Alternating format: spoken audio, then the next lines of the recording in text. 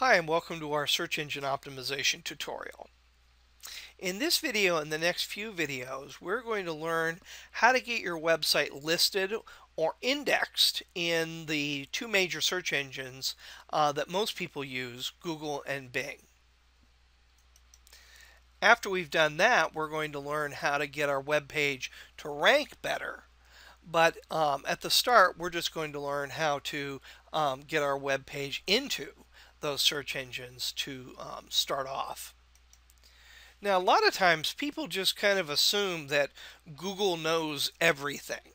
And therefore, as soon as you publish a web page, Google's going to find it and include it. And the same thing with Bing. And that isn't entirely true. Some websites Google does find by accident, um, usually because somebody has linked to your site and Google was indexing um, their website. But for the most part, everybody needs to go through a very deliberate um, set of steps in order to get your website listed in Google and Bing. Just simply leaving it to um, chance, um, it will take um, months for Google to actually find your website and to list it and index it um, for people.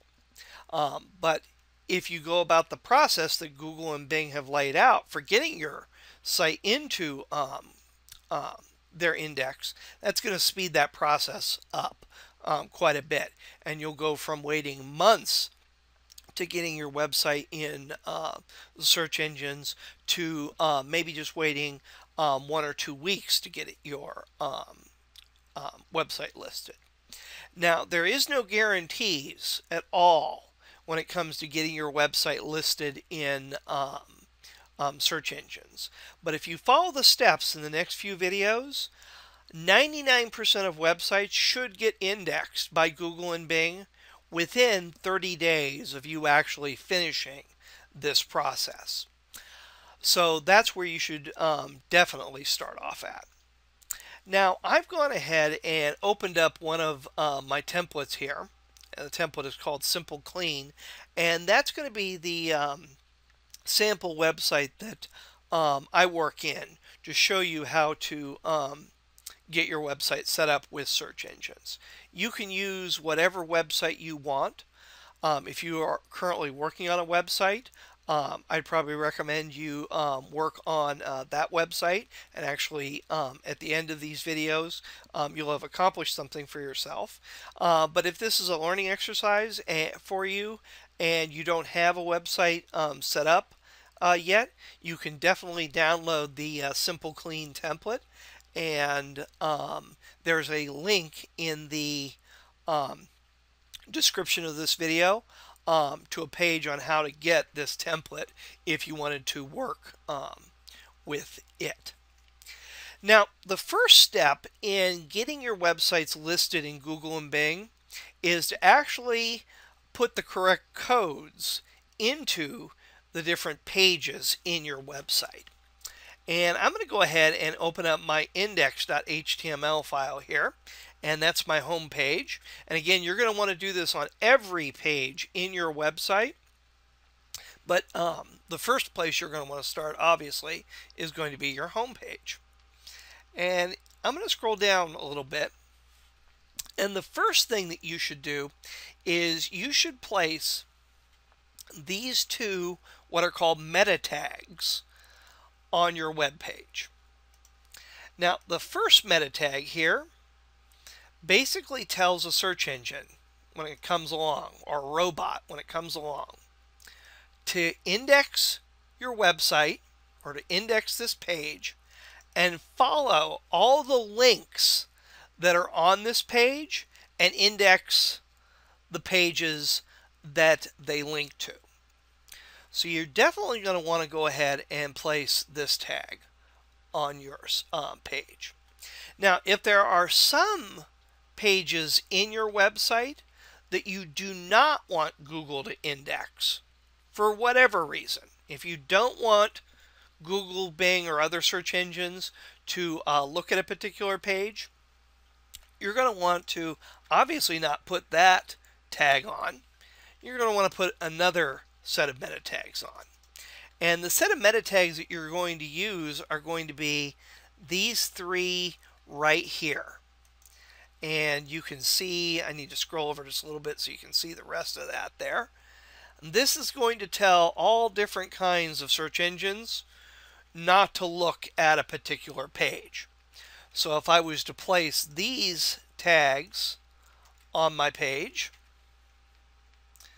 that tells the search engine when it comes to my page, don't index this. On the other hand, if it finds a search engine comes to my page and it finds this tag here, this is saying, yes, index my site and follow all the links that are on my site. So you're going to want to place one um, of these set of tags on your page. Now, the next tag that we have here is again for search engines. And you're going to see the content of this meta tag says no image index. Now, what this meta tag will do here is combined with this one, it tells a search engine, okay, you can look at this web page and you can include the content of my web page in your regular index, but don't index any of the images that are on my page.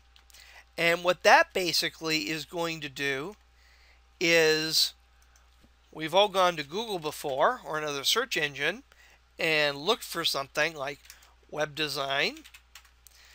And we know we get all of our normal search results here. But we also can click on images here and it's going to bring up an image search result.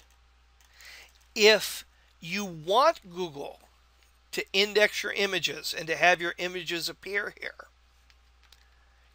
you're going to want to omit this tag here. But if you want to prevent search engines from including your images in their index, you're going to want to include this tag here. So the first thing you're going to do is you're going to set up those robot meta tags. The second thing that you're going to do is you're going to put a title, a description, and keywords on your page. Now the first of these, a title, is fairly self-explanatory. You just go ahead and open a title tag and type whatever um, you would title your page. Now, this is actually very important because when you come to your search engine and you type something in, the search engine has to know what to put here. You know, what's going to be the title for that entry. And most search engines, that's also the link that you click on. What appears here is the content of the title tag. So every single page in your website should have a title tag. And it should be descriptive of what that page is, um, um, is about. Um, and none of your titles should be the same for any of your pages. Having duplicate titles um, for your pages um, is a huge mistake um, in search engine optimization. And what a lot of people um, do is if the main title they want is Website by Timothy Web Design.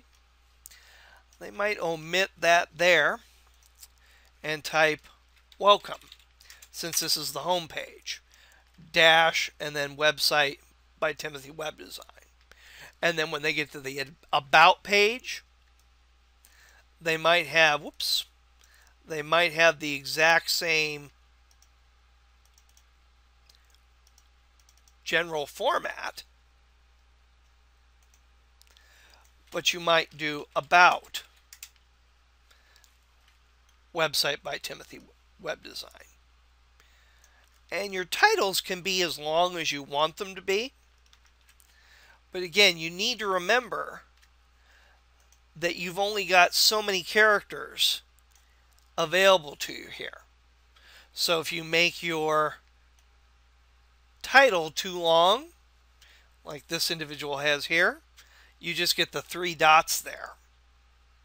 So you can make your titles as long as you want. Be aware that search engines are only going to show a certain number of characters for you there. And you'll also see there's a short description here, a short two-line description. And what is there is going to be whatever you've placed in the description meta tag. So whatever I place here, that's going to be the description that appears when this page appears in my search engine results.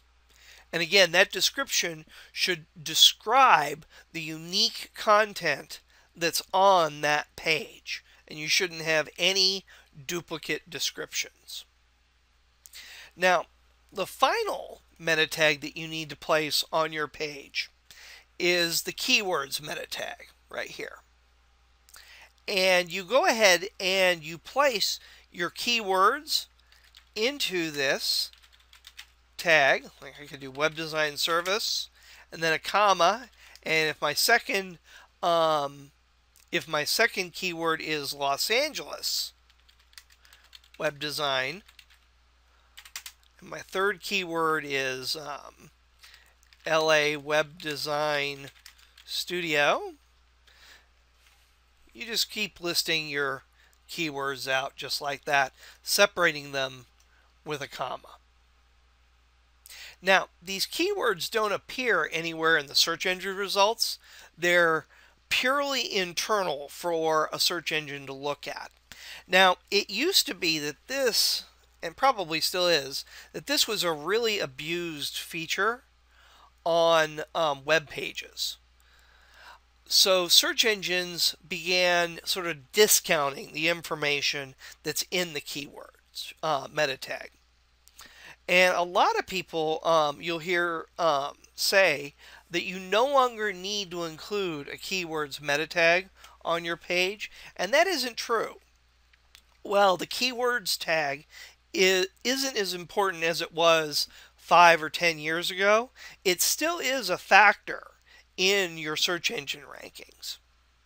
And the way this keyword um, tag will be the most effective for you here is if the keywords that appear in this tag also appear in the text on your on this actual web page. And that way Google sort of knows and other search engines know that you're not just sort of spamming keywords up here, but that the keywords, and when I say keyword, I really mean keyword or key phrase, um, does have something to do with the actual content that's on your page. Um, so while it isn't as important as these other elements, it should be something that you include on um, your page. Unlike the title and the description, however, your keywords are oftentimes the same on every page. Sometimes they're different, but oftentimes they will be the same. So while you wouldn't want to have duplicate titles or descriptions, having duplicate keywords isn't um, a bad um, um, isn't a bad uh, practice, as long as the keywords that appear in this tag also appear in the content on your um, page. Well, now we have all the necessary tags set up on our um, page. So we're ready to go ahead and go to Google and Bing and tell them that my website exists and is ready for them to come visit and index. And that's what we're going to do in the next video. We're going to um, see how to get your website set up first in Google Webmaster Tools and second in Bing Webmaster Tools. So I will see you in the next video.